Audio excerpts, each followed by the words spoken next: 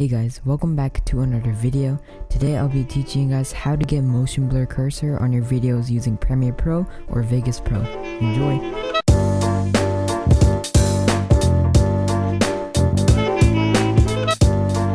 So first we're going to start off by using Premiere Pro, but before we start off there's a few requirements to actually do this.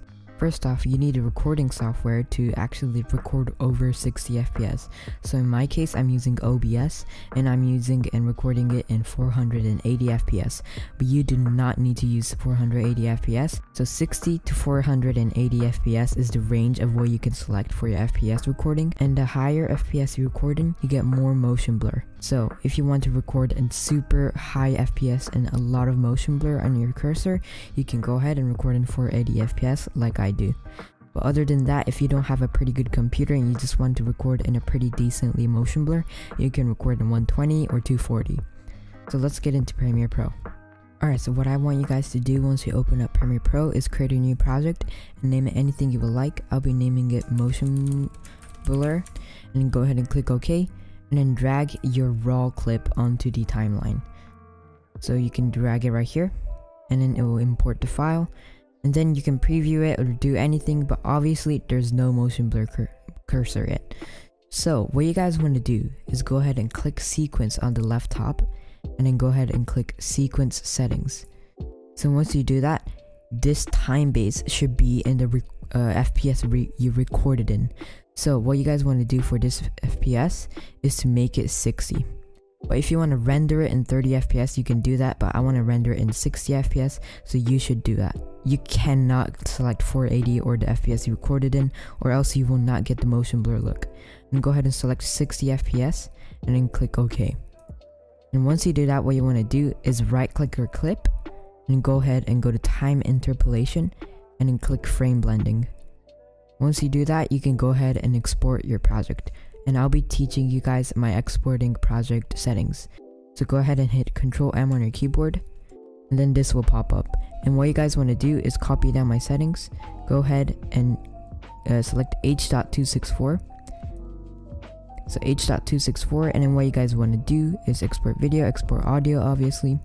And then go width by 1920, height by 1080. So these should be all default and you guys can copy down my settings if it's not.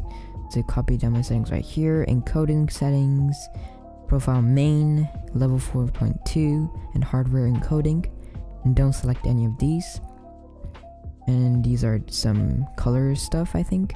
And these are, again, some stuff. So bitrate settings. So these are pretty important too, so you guys should uh, listen.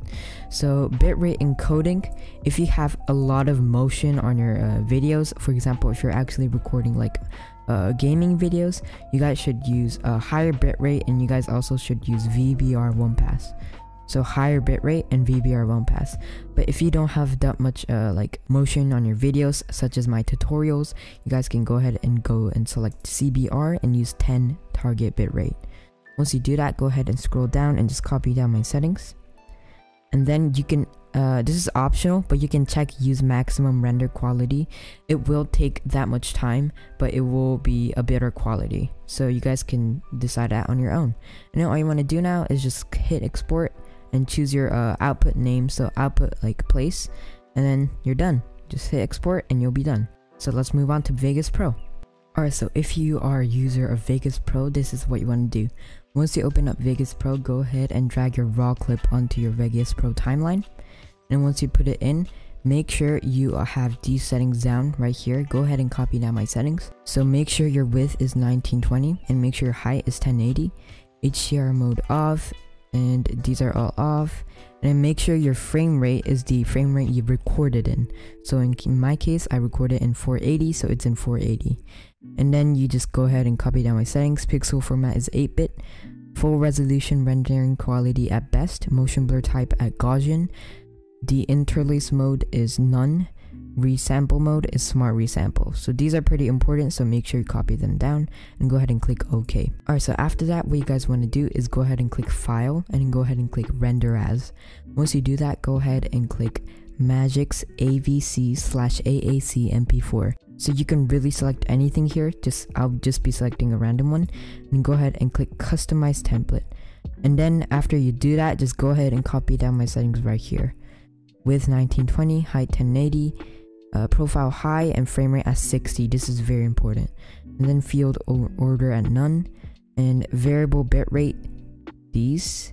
And then go ahead and copy down all my rest of the settings. Go to audio, copy down these, go ahead and system, copy down these, go ahead and project, and that's pretty much it for these settings. Click OK once you do that, and you can choose where you want to save it by clicking browse and saving saving it and then choose any name right here. I'll be naming it tutorial test and then go ahead and click render.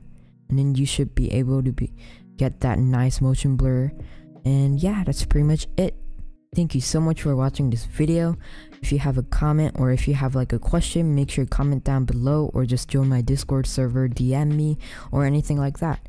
Thank you so much for watching and i'll see you in the next one. Bye